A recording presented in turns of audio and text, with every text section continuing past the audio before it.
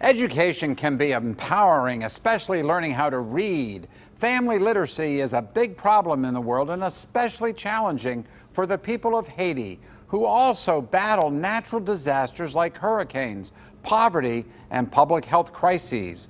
A Christian nonprofit organization with deep roots in Pittsburgh is changing the lives of thousands of Haitians. The Functional Literacy Ministry of Haiti, or FLM, was created to provide basic human services, including education and health care. Next Saturday in Highland Park, FLM will hold its annual Walk for Haiti called To Haiti with Love.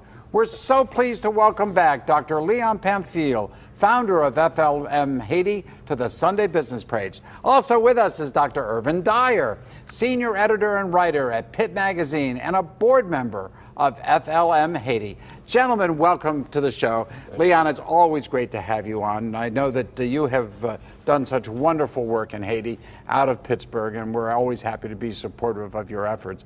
Um, maybe help our viewers who may not be familiar with FLM. Can you tell us exactly what your mission is in Haiti? Thank you, first of all, for giving me the opportunity to share once again with uh, the KDK audience the um, mission of FL